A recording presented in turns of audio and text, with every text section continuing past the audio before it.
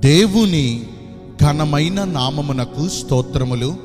ఈ వాగ్దానమును వింటున్న మీకందరికీ మన ప్రభువును ప్రియ రక్షకుడైన యేసుక్రీస్తు నామములో శుభములు మా హృదయపూర్వకమైన వందనములు. ఈరోజు మీ కొరకైన దేవుని వాగ్దానము. లూకా శుభవార్త ఒకటవ అధ్యాయము నలభై తొమ్మిదవ వచనము. ఇది మొదలుకొని అన్ని తరముల వారును మిమ్మును ధన్యులని అందురు. మంచి దేవుడైన యేసయ్య ఈ మంచి వాగ్దానమును నేడు మనందరి జీవితములలో నెరవేర్చునుగాక. ఆమేన్.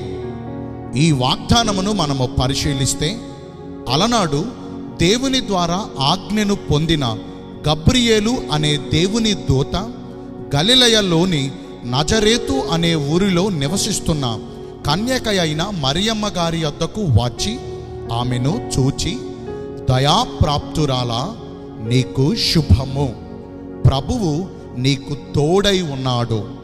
భయపడకుము. దేవుని వలన నీవు కృపను పొందితివి. ఇదిగో పరిశుద్ధాత్మ నీ మీదకు వచ్చినప్పుడు నీవు గర్భము ధరించి కుమారుని కని ఆయనకు యేసు అనే పేరును పెట్టుదువు. ఆయన గొప్పవాడై సర్వోన్నతుని కుమారుడని పిలవబడుననే శుభవచనమును తెలియజెప్పగా ఆమె ఆ మాటలు నమ్మారు కాబట్టి లోక రక్షకుడైన యేసుక్రీస్తు ప్రభు వారికి జన్మనిచ్చారు.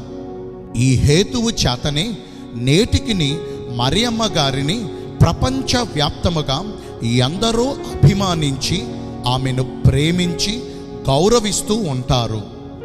యేసుక్రీస్తు ప్రభు వారి పుట్టుక కొరకు తాను ఎంతో త్యాగం చేశారు. కాబట్టే ఆమెను దేవుడు ఎంతగానో ఘనపరిచారు.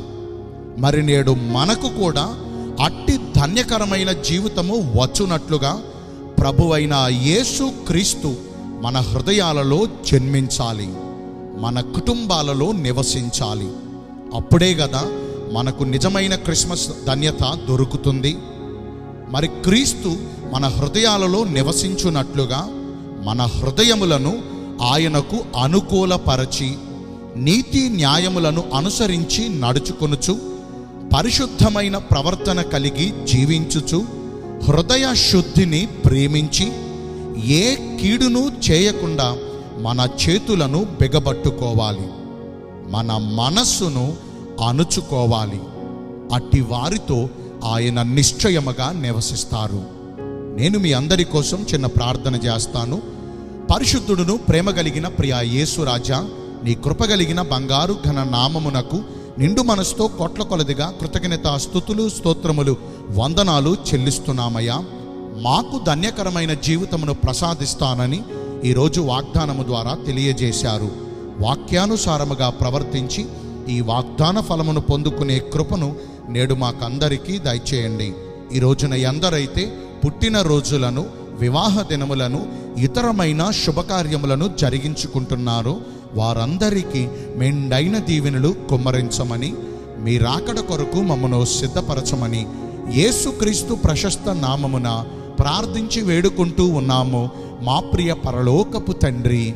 ఆ మేన్ దేవుడు మిమ్మల్నందరినీ ఆశీర్వదించునుగాక.